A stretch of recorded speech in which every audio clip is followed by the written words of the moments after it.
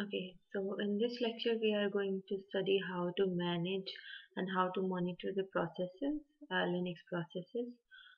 So uh, before starting the commands, we need to know that what is a process. So any program which is in execution that is called a process because program is just the set of instructions but when that program um, then when that program needs to be executed then that must be brought into the main memory. So a running program is called a process in simple words and it consists of various things. For example a list of address space that consists of security properties of the process that also contains the system and the process state in which state it is right now executing the current scheduling context the allocated resources uh, list of global and local variables. So all these things are linked with the process right? So a process id is the number which is allocated to a process. And also it has a parent process id means the parent process which started it right?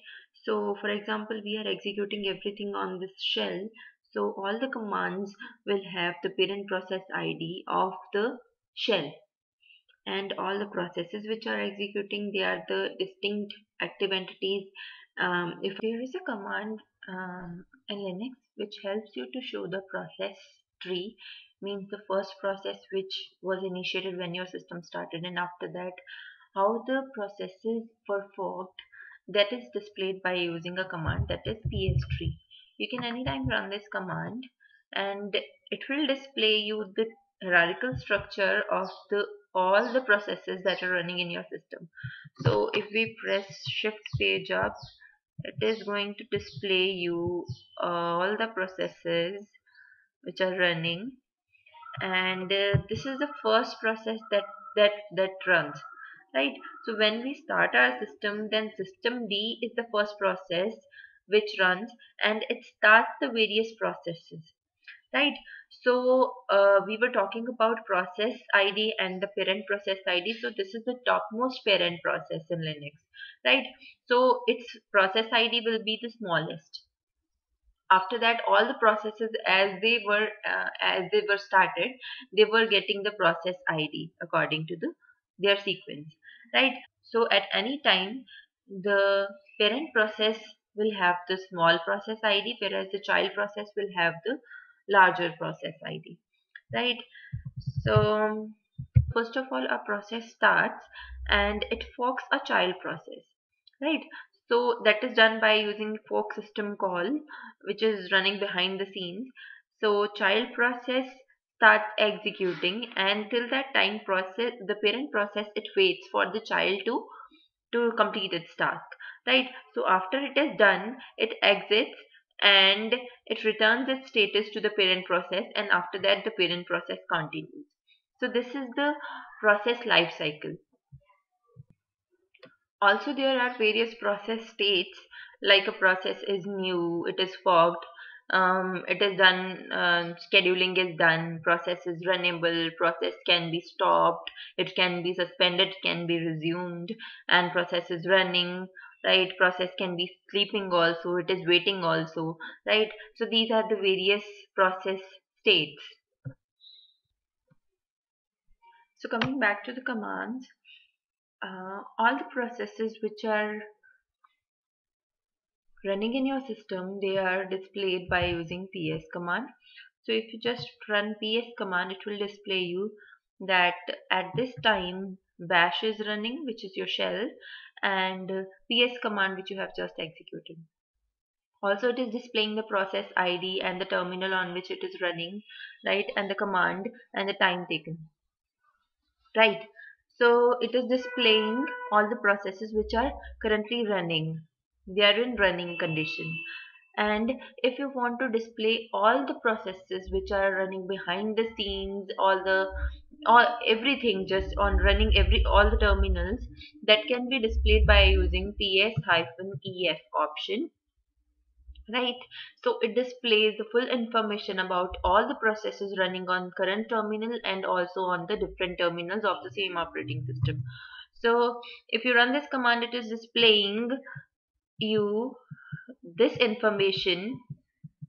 So there are various fields in this uh, output and I'm just scrolling up. So it is displaying uh, user ID means uh, the user who is running these processes the process ID parent process ID its nice value all the other things are also displayed and this is the command which is running right? All the processes which are bracketed they are the kernel processes they are the kernel threads and uh, it is displaying that see this, you can notice that systemd it is the first process that run. And uh, its process ID is 1 and uh, parent process ID is 0 right? So if you page down then ps-ef this is the command which you have just executed.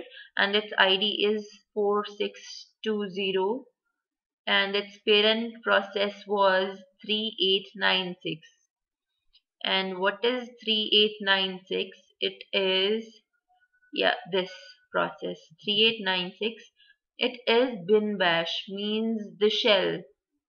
On shell you executed this command ps-ef so it is initiated by the shell. So its parent process is 3896 right? And its parent process is 3892 what is that 3892 it is the gnome terminal your this interface right so this is just an observation uh, so these are the processes which are running. ps-ef command displays all the processes. Right. Now we will move ahead. We will learn how to control the jobs which are running. That can be done. Uh, we'll take up an example. You can run any process. So gedit space the file name file name enter alright alright so what it did it just opened this uh, gedit editor and you can see that now the control is shifted to this process right? So you can see the caret blinking over here and we have not got the shell now.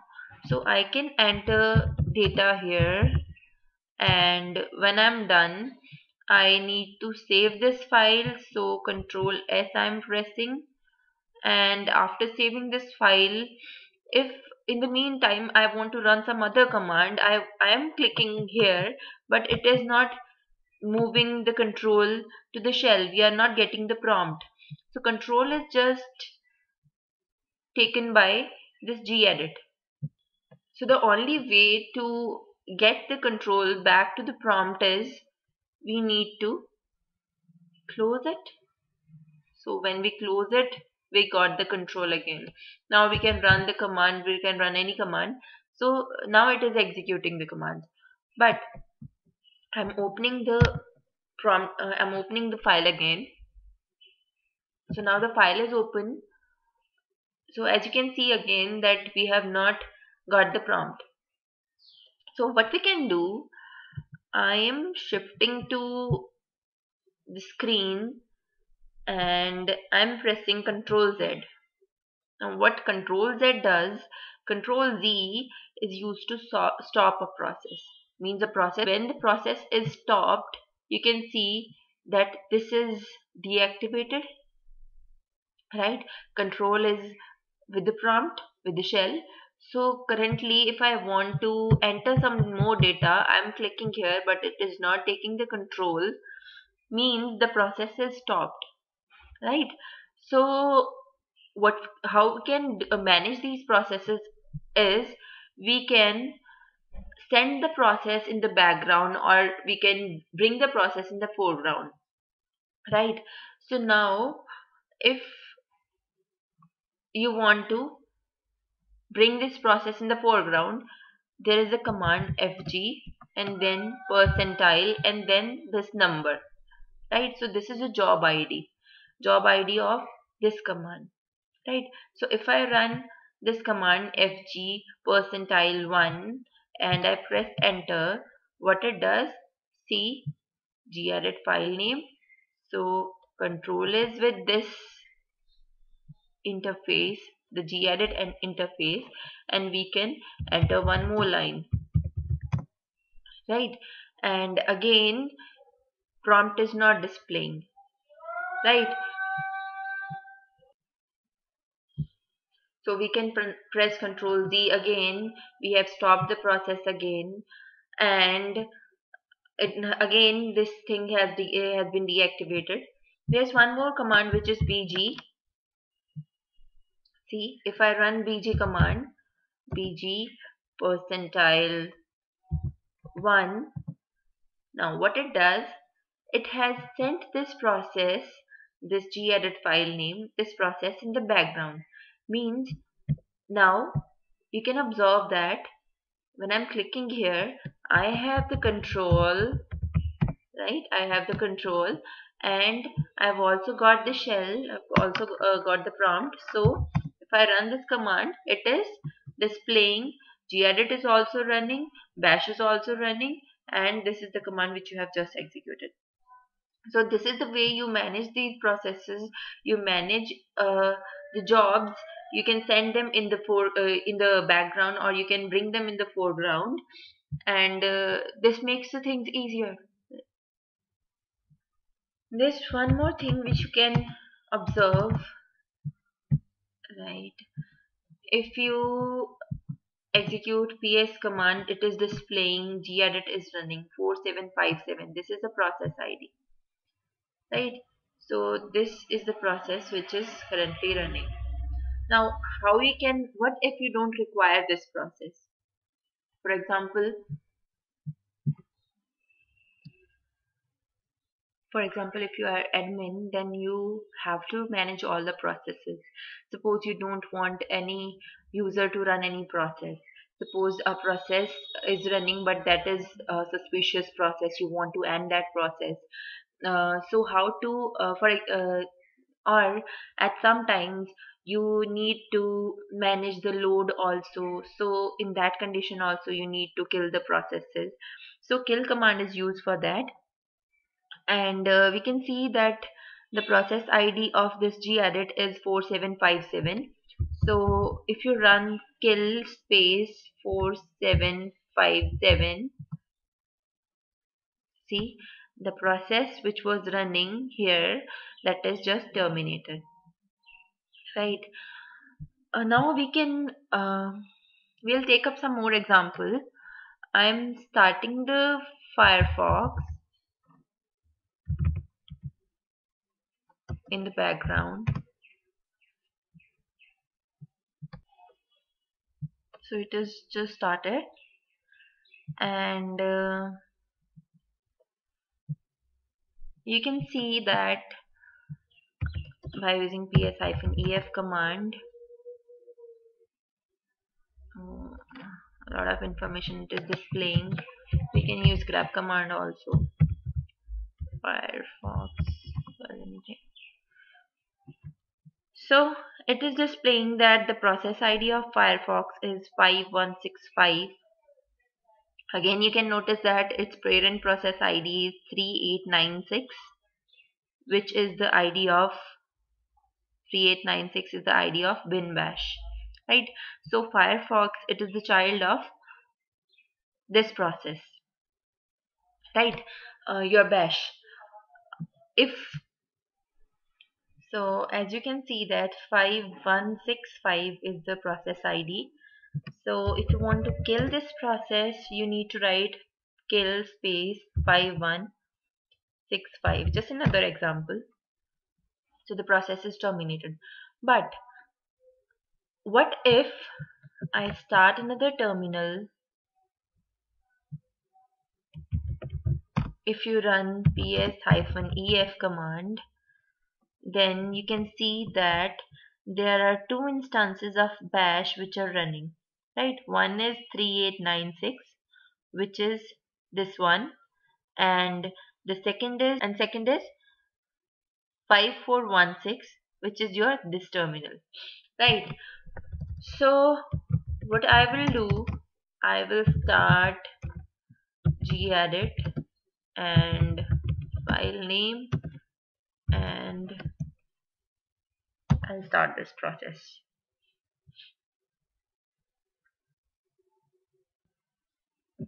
so gedit is open. And uh, if you run ps-ef command again it is displaying that see bin bash this is 3896 right? Bin bash 5416 and gedit 5493 whose parent is 5416 now suppose we want to terminate that shell. 5416 right? So we are trying to do that by using kill command.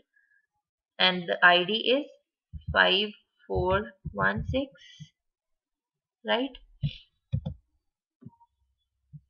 What it did can you see? We have the file and also we have the shell it didn't terminate it. Why? Because that process was a parent process and its child was still executing. So if you want to terminate a parent process whose child is executing, then you won't be able to do it in a in a in that in that normal way because when you execute kill command then that sends a light signal which is sigterm signal. Right? That signal is comparatively light. Right? So it didn't kill the process. But if still you want to terminate that process you want to kill that process forcefully then what will happen? The parent process will be killed and all their all its child processes will also be killed. Right? And that thing is called cascaded termination. And for that you need to send that signal explicitly you need to write kill hyphen sig kill because in other way it just sends sig term signal by default right? So sig kill then the id 5416 now what happened? As you notice that the child process and the parent process both are killed right so this is how you manage the processes. We have different commands like uptime like uptime. It will display you that the system is up from what time how many users and the load it is displaying also we have one more command which is top command. See what is the difference between top command and ps-ef command? Is that when you execute ps-ef or ps command with any of the options then that gives you the uh, gives you the static information right? And top command gives you the dynamic information. So it is refreshing the output of the processes which are running every 5 seconds right? So top command gives you the all the information uptime. It is also displaying you load average two users how many tasks and how many are running actually and how many are sleeping stopped and zombie processes. It is displaying you everything right and uh, there are various commands also which are used inside this top command. For example if I press D then it is displaying change delay from oh I'm sorry that is not 5 seconds. It is refreshing the output every 3 seconds. So change delay from 3 to then what what time? For example if you if, if you write 5 then it will refresh the output every 5 seconds right if you write 1 or 2 it will refresh the time accordingly it, it will refresh the output accordingly so various things it is displaying. One is the process ID, user which is running, priority, nice value, virtual memory, um, actual memory which is used, CPU, memory information, time taken and the command. There are various things which are displayed. Right. So you can come out of it by executing W by pressing W command. There is a folder, there is a directory in your system that is slash proc directory. It contains the information about all the processes. Right. This uh, for uh, this directory is related to the processes we have various files various important files in this directory for example if you view the contents of slash proc slash cpuinfo. There is a file inside this directory with this name. Then it will display you many things. So it is displaying you processor vendor id model name right? Many things it is displaying you in the same way you have a file with name meminfo also. It is displaying you the memory information. Right? So this is the way you manage all the processes. We'll continue with the next chapter in the next lecture. Thank you